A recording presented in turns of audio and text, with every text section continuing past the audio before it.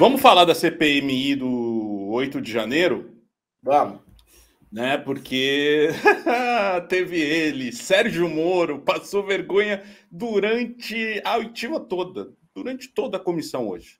Hoje, realmente, ele bateu um recorde, o Sérgio Moro, cara. Eu nunca vi ele ser. Ele sempre é humilhado, né? A gente sabe. Mas hoje ele foi muito humilhado. Muito humilhado. A gente muito. vai mostrar aqui. Nicolas ver também. se eu tenho. Nicolas também. A gente, eu vou ver se eu tenho aqui todos, porque são muitos momentos que ele foi humilhado. E aqui, ó. A primeira do do G Dias, né? Falando com o Moro. É, tem várias do Moro, tá? Vamos ver primeiro aqui do, do G Dias, que foi o depoente de hoje, que foi ofuscado pela CPI da, das pirâmides financeiras por Ronaldinho Gaúcho.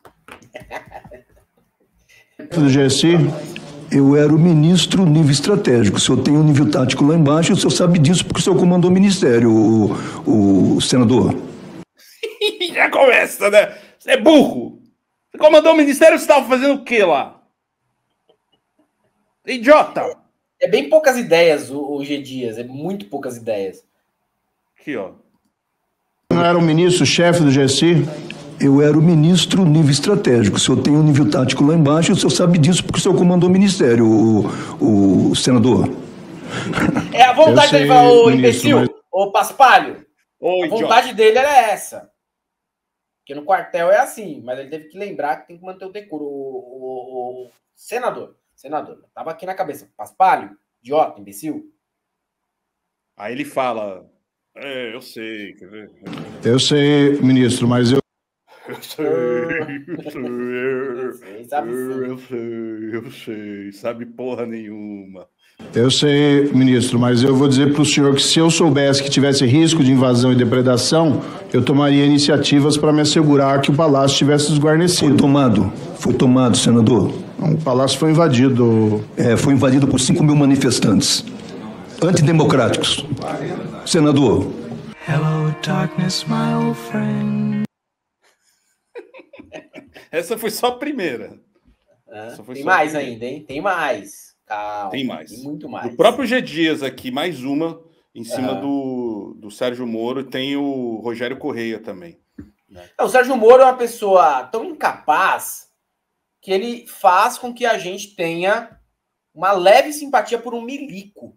Puta, é verdade. Parabéns, viu, Sérgio Moro? Parabéns. Parabéns. Vamos ver aqui. Uma entrevista afirmando que teria havido um apagão de inteligência. Hoje está muito claro que não houve esse apagão. O senhor ministro mesmo recebeu alertas expressos do diretor da BIM, Saulo Cunha, do risco de invasão e depredação. Da, da, Foram feitos com. Da, da, pedra, drep, drep. É, mas drep, que ele já sabe que está sendo zoado e ele se corrigiu. Sabe que virou chacota. Depredação. Foram feitos comunicados a diversos órgãos a respeito desse risco de invasão e depre, depre, depredação. ele não consegue. Cara, tem um. Depre, depre, pre, depre. Tem uma edição que o nosso camarada Bruno Alencar fez aqui, que é muito boa. O senhor ministro mesmo recebeu alertas expressos do diretor da BIM, Saulo Cunha, do risco de invasão e depre depredação. depredação. Viu, mesmo recebeu alertas expressos do diretor da BIM, Saulo Cunha, do risco de invasão e depre depredação. Depredação. Ah, é, é, muito incapaz, né, cara? É muito. O presidente Lula mentiu nessa entrevista? Ele estava mal informado? Ou isso foi uma construção de um álibi ali dentro do governo federal para explicar a inoperância dos órgãos federais frente à invasão? Excelente pergunta, senador. Temos que perguntar ao presidente Lula. Muito obrigado. poucas ideias. Com humor é poucas, poucas ideias, ideias, cara.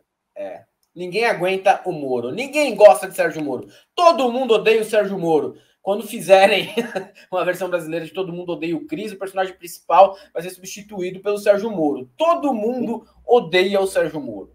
É verdade. É, tem aqui, ó, o, o Moro levando uma lapada. Mais uma. Errou flagrantemente nessa data ao deixar esses quatro pelotões de choque que poderiam ter impedido a invasão e está utilizando argumentos. Não sei como ele tem coragem. É, tá aí um, um, mérito do Sérgio Moro, Helder. Se você fosse o Sérgio Moro, é, você passasse tanta vergonha, dias e dias assim, dia sim, dia sim, passando vergonha. Você teria coragem de, de, de estar nessa CPI ainda, CPMI, falando? É aquela velha máxima. Quando você é idiota, quem sofre são os outros, porque você não sabe disso. É como estar morto, entendeu? É como estar morto. Quem sofre são os outros. Você não sabe. Você não, você não tem essa noção. Jurídicos que não sustentam, considerando os precedentes. Estão lá sete comandantes da PM presos. É o Rogério Corrêa que tem batido bastante no Moro nos últimos meses aí. E, sinceramente, a oposição quer dizer que isso não tem nada a ver, que a Polícia Militar não deveria mesmo ter agido, que isso seria da Força Nacional de Segurança, que tinha restrições constitucionais. Tem alguns que não importam com as restrições constitucionais. Por isso foram considerados, então, até juízes parciais pelo próprio Supremo Tribunal Federal.